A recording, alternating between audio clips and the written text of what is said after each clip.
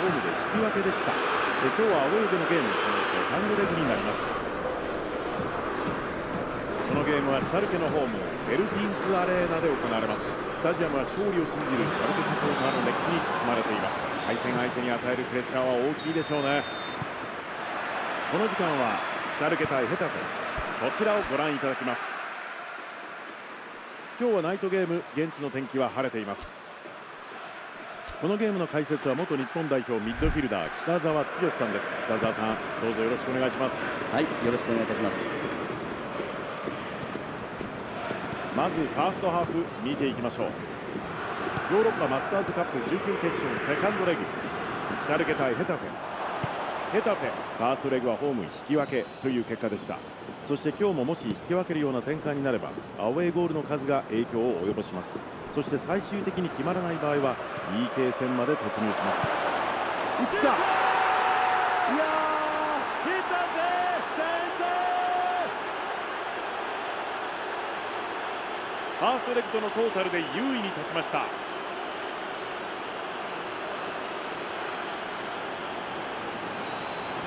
もう今のコース打たれたらキーパーはしょうがないでしょうね。コースを狙って振り抜いていった感じですよね。気持ちで打ち込んでいったシュートに見えましたねこれは。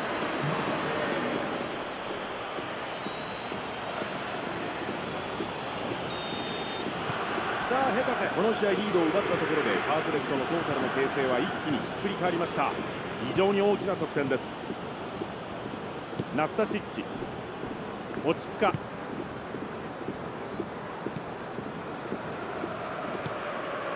ベンタレブ。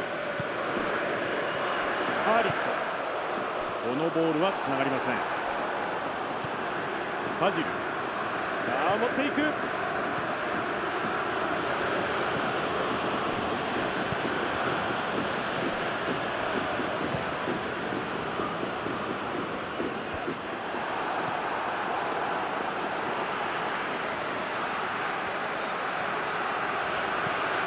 ジョン・ジョー・ケニー。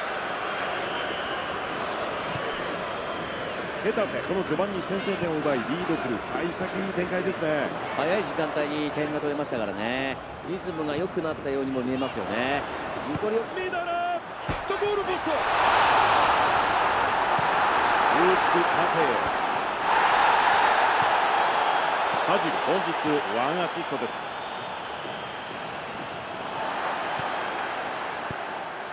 縦へのボール。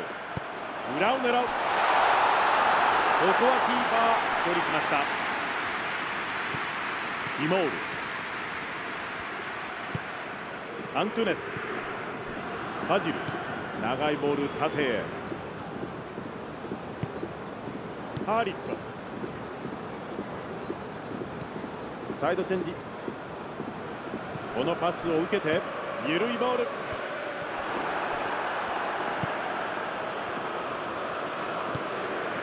ティモールアントゥネスファジルレベルトンミドルレベルトンあと少し今のは惜しいシーンでしたいやー思い切って打ってきましたよね。いい姿勢ですよね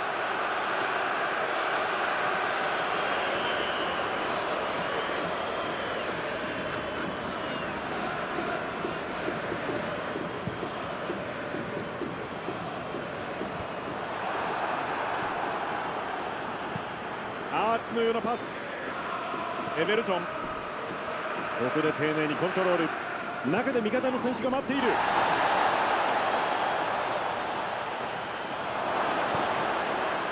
ベンタレブ。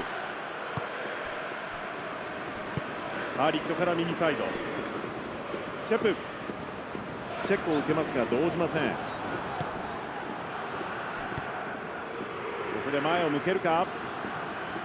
寄せられてますけどもねキープ力ありますね。うん取れないですね。ナスタシッチ。ボールの奪い合い激しいものがあります。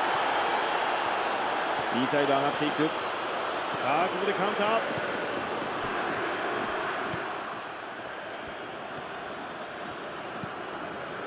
ダニエル・カリジウリ。長いボールを送ります。アントゥネス。エベルト。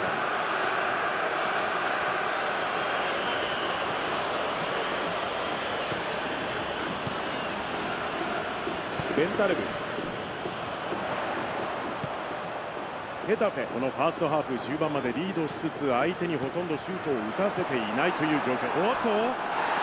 さ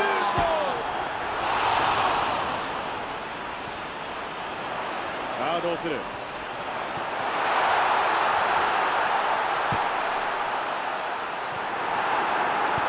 クリアこのピンチをなんとか出します。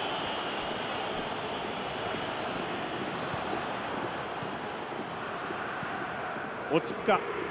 左サイド上がっていく。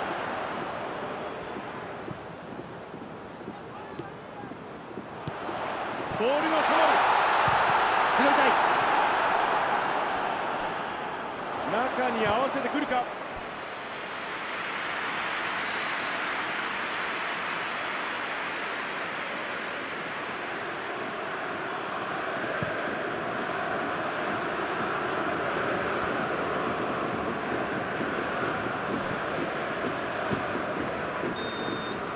レフリーファーストハーフ終了のホイッスル。15分間のブレークに入ります。前半から得点が動いています。ヘタフェまずは前半先制して折り返しました。いい前半でしたよね。中盤でシンプルにボールを回しながらチャンスを作ってましたよね。ヨーロッパマスターズカップ準々決勝セカンドレグ。シャルケ対ヘタフェ。ヘタフェまずは1点先制して後半へと向かいます早々とこの後半始まっています。ヘタフェとしては後半攻めに行くのか守りに入るのか。シュート！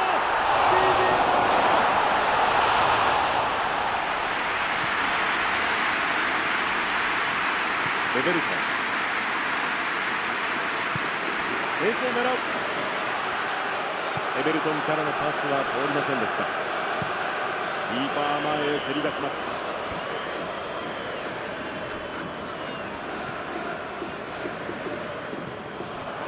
エベルトンカウンターを仕掛けていきます。ハーリットスルーパス。フリー。ドを蹴る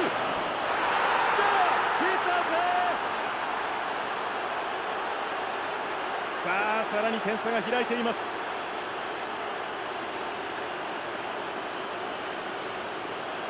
これは見事なカウンターからのフィニッシュ。北澤さんどうご覧になりますか？これはお手本のような綺麗なカウンターでしたよね。前線の今の動き出しは常に狙っておかないとできないですからね。タイミング良かったですよね。今日2点目のゴールです。さあヘタフェ。得点を重ね2対0という展開ヘタフェとしてはここからさらに自分たちのサッカーがしやすくなりますよね、はい。2点リードは精神的に大きいですからね、うん。ゲームの主導権を握る上でも状況としては非常にいいでしょうね。そうですね。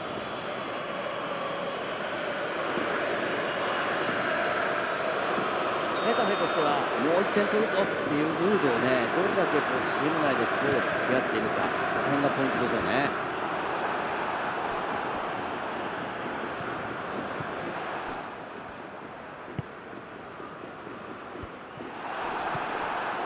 ファジル。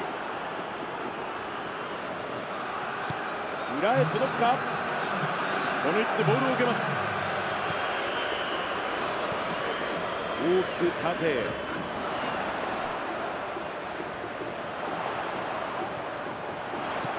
ここまでご覧になっていかがですか北澤さん？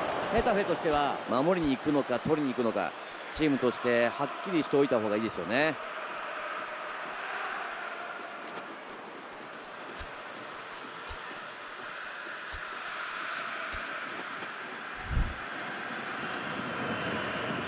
ヘタフェここでベンチが動きます。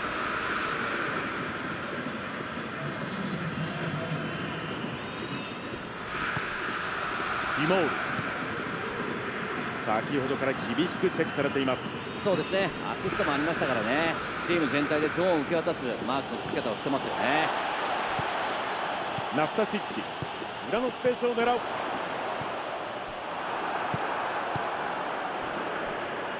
アントネスから大きく縦へスワトセルダル来たかわす。さあカウンターのチャンスになります。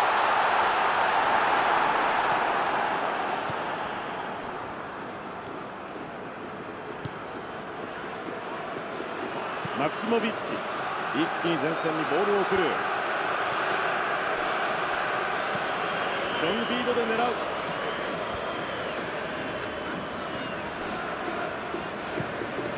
縦へのボール。ちょっと伸びてしまいました。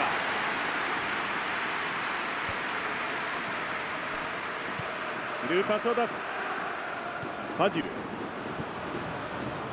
一人で上がっていく。激しいボールの奪い合いです。ファールカードをもらうかもしれません。イエローカードです。審判に抗議しますがこれは認められませんやや深い位置からのフリーキックです。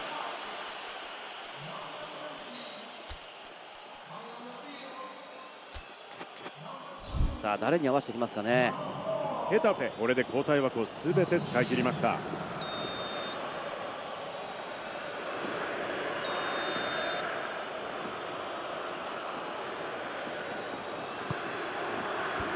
このクリアボール拾いたいいボール縦へ。シャルケとしては守備の裏のスペースを相手に取らせないことが最優先みたいですよね、はい、先ほどからマークの相手にあまり近づきすぎないようなポジションを取ってますからね。なるほど。これは相手に近すぎると裏に走られた時追いつけないという認識でどうでしょう？いいんでしょうか？そうなんですよね。スピードのある選手に裏を取られると、決定的なピンチになりかねないですからね、はい、ただ気をつけなければいけないのがラインが下がりすぎてしまうと中盤とディフェンスとの間にスペースができてしまうんですよね、はい、そこを使わないように中盤の選手がカバーすることが大事になってきますよね、うん、してものを見るというこれまた特殊な能力問われますね。そうですよね。ルーズボール。一旦間合いを取る。オルティージョ。カウンターを仕掛けます。ここはドリブルで上がる。スペースを狙った。サイドを縦に走らせます。いいボールですよ落ち着か危ないところでしたがなんとか切り抜けます。スワトセルダルマクケニーから大きく縦へ。大きくサイドチェンジ。試合時間も残すところあとわずかとなりました。このままいきますとベスト4に名を連ねることになります。ヘタフェ。ボールのところパス。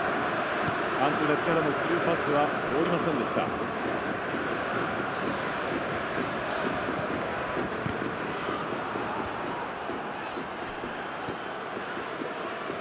さあ一気にカウンター。激しいボールの奪い合い。これもファウルですかねおっとここでカードが出ます。シャルク今のでイエローカード2枚目となりました。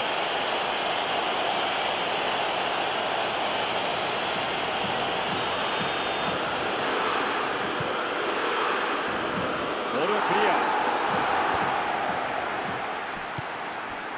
ナスタシッチ。で上がる。どうする？さあシュートまでいけるか？これ仕掛けるか？クロスが上がる。リディアンここは抑えました。ここで笛です。2対0ヘタフェ準決勝進出を決めました。北澤さんゲームを振り返ってのコメントお願いいたします。ヘタフェとしては2点とも序盤での得点でしたし試合の張り方が非常にうまかったですよね。戦術的なところを含めてチームとして完成されてるなと思いますね。はいありがとうございます。さあ放送時間もなくなってまいりました。解説は北澤剛さんにお願いいたしました。本日はありがとうございました。ありがとうございましたヨーロッパマスターズカップ準々決勝セカンドレグ。ヘタフェこれで準決勝進出となりました。